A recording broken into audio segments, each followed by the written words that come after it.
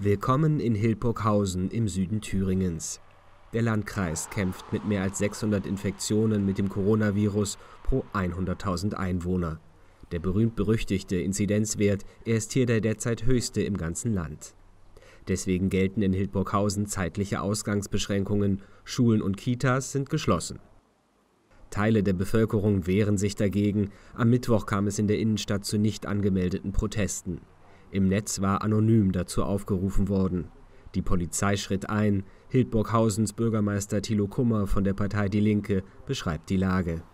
Äh, wenn dann an einem Tag zum Beispiel 65 neue Fälle in einem Pflegeheim gemeldet werden, macht das die Brisanz der aktuellen Situation deutlich. Und wenn ich dann noch gestern Abend eine Demonstration hier habe, die nicht als Versammlung angemeldet ist, wo aber trotzdem mehrere hundert Menschen auf dem Markt in Hildburghausen unterwegs waren, gegen das Ausgangsverbot dort verstoßen haben, zum Teil auch ohne Maske rumgelaufen sind, dann ist meine Sorge, dass eben immer noch äh, sehr viele Kontakte stattfinden, weil Leute einfach sagen, nein, ich glaube das nicht oder äh, ich sehe die Gefahr nicht.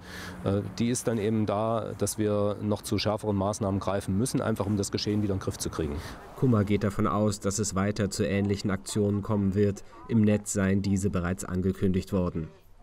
In der Bevölkerung regt sich also Widerstand. Auf Nachfrage äußerten sich Einwohner und Gewerbetreibende am Donnerstag aber durchweg verständnisvoll. Äh, wir, sind, wir sind zufrieden, auch mit den Maßnahmen. Also die, die Stadt hat schon dafür gesorgt, dass zum Beispiel, wenn der Markt stattfindet, Sie sehen ja Riesenabstände zwischen den Ständen und äh, die Leute, die, die sind wirklich hochdiszipliniert. Die drei Kinder sind alle woanders, so ist man Weihnachten allein, aber das finde ich in Ordnung. Besser, als wenn wir uns treffen würden und dann ist Weihnachten nach Weihnachten wieder Theater. Ja. Ein bisschen äh, komisches Gefühl ist es schon. Zum Beispiel gestern Abend war eine nicht angekündigte Demonstration. Da habe ich auch gedacht, sind denn die noch alle ganz richtig? Ja, also da muss man sich schon, muss man sich schon fragen, was da los ist.